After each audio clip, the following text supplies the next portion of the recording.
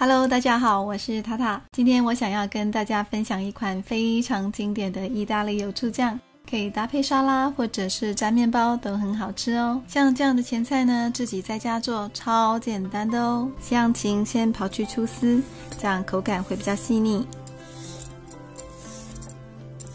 然后切对半，再切丁。小黄瓜切对半，把这个籽去掉，籽是可以吃的哦，只是去掉的话，沙拉会比较美观一点。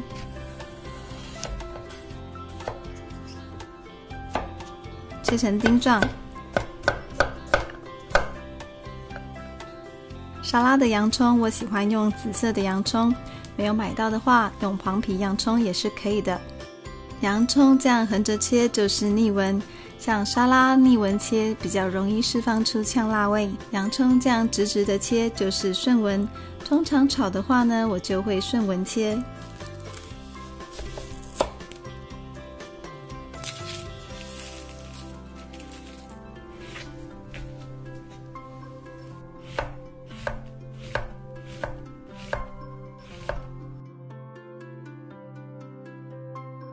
把切好的洋葱放到冰水里面来浸泡三十分钟左右，这样可以大幅减少洋葱的呛辣味。然后准备一点小番茄，大概六到十颗左右。现在是芒果季，加一点在沙拉里面会很好吃哦。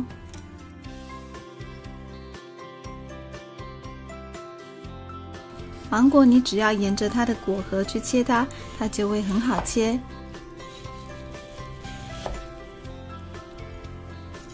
边边的地方呢，也是一样的切法，像这样削一削，果肉都下来喽。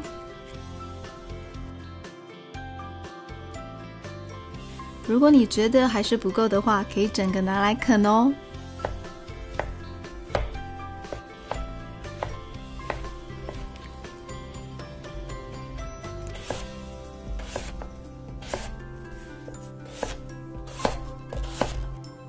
先切一点柠檬。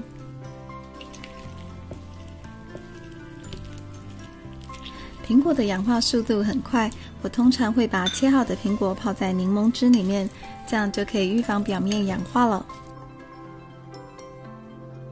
再来是意大利油醋酱，建议做油醋酱要用比较好的初榨冷压橄榄油，这样味道会比较好哦。有人会加一点蜂蜜，不过巴萨米克醋已经有甜味了，我就不加了。我觉得意大利油醋酱最好的比例是醋一。橄榄油三，大家不要觉得橄榄油好多好油哦。其实好的橄榄油是可以降低坏的胆固醇，增加好的胆固醇。我自己呢会再加一点点的甘甜酱油提味，然后一点海盐，现磨的黑胡椒。如果你喜欢有蒜味的话，可以再加一点蒜泥，这样搅拌一下就完成啦。酱汁要吃多少呢？调多少，不要一次做太多哦。然后穿烫一点鸡胸肉，撕成鸡丝。你可以一次煮多一点。没有吃完的鸡胸肉，可以盖上一张保鲜膜，放在冰箱保存着，隔天带便当也一样好吃哦。现在我们可以来组合一下蔬菜水果了。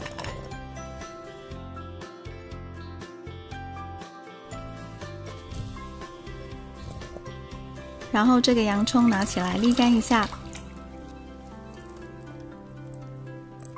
盖上一张保鲜膜，像这样摇一摇就不会到处乱跑了。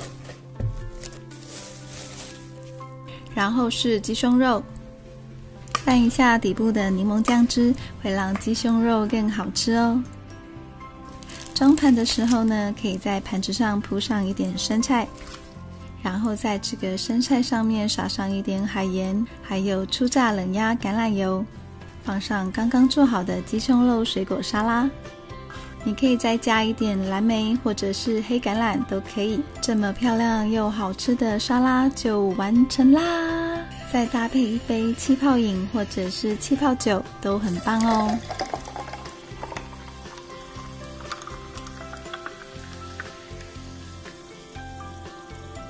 最后要吃的时候，再淋上意大利油醋酱。